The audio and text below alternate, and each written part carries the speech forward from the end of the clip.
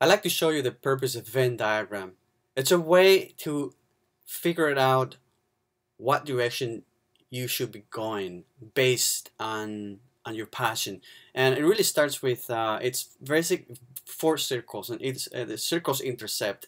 And in the middle you have what you, your purpose in life, life should be. Um, so what the first circle is what you love to do. Uh, the other one is what you're good at the other one is what you are paid for. And the fourth circle is what the world needs.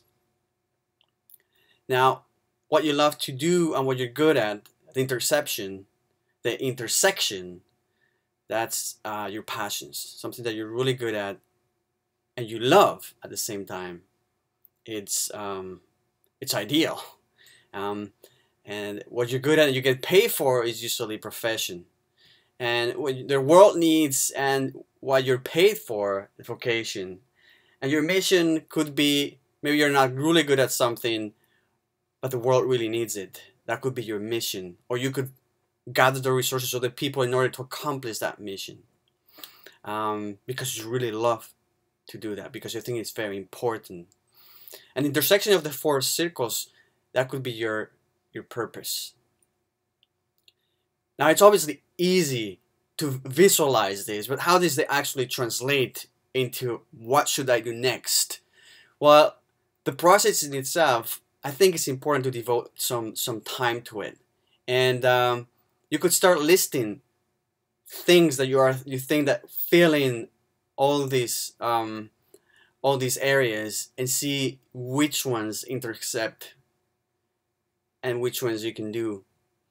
Um, I think whatever you do, you should have passion for it. And it's really gonna be very hard to find something where you're really good at, you really love it, the world needs it so much that they're actually gonna, you know, somebody's gonna be able to pay for that. Uh, there's something for sure. If you become really good at something, it's very likely that you're gonna devote a passion for it because to become some really good at something you're gonna have to devote a lot of time. And like Steve Jobs said it's very hard to succeed at something if you were not passionate in the first time. How are you gonna devote all the thousands of hours that it takes to excel at something if you're not genuinely passionate about it?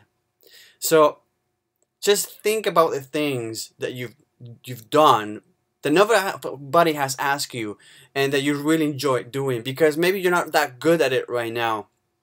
But the good thing is that if you put many hours at it, you become better. And that was just maybe a, a hobby. It, become, it could become a passion, a monetizable passion.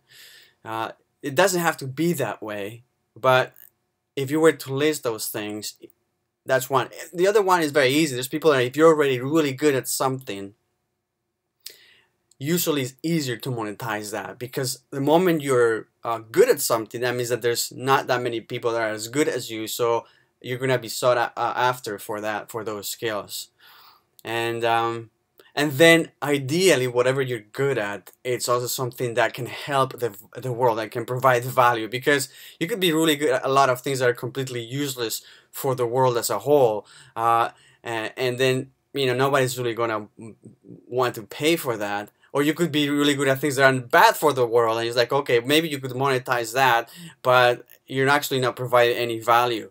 So anyways it's something to think about and um, if before you take the next step, um, just list a little bit of those things on these areas and maybe that will give you a hint. Hey, did you enjoy this video? If you want to see more like this, just subscribe here. If you want a free gift, click here. Yeah. Which one is going to be the one you click?